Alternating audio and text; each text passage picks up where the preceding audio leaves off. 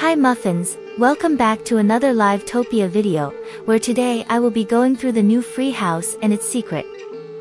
This house requires the Royal Pass, but this week it's free for all for a limited time, so do make sure you check it out before it's gone. Before we get started don't forget to like, share, subscribe as well as hit the notification bell, so you never miss any of our videos. Let's go and check it out.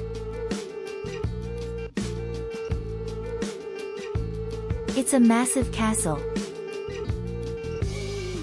Now let's check out the surveillance camera to get a sneak peek of the secret room.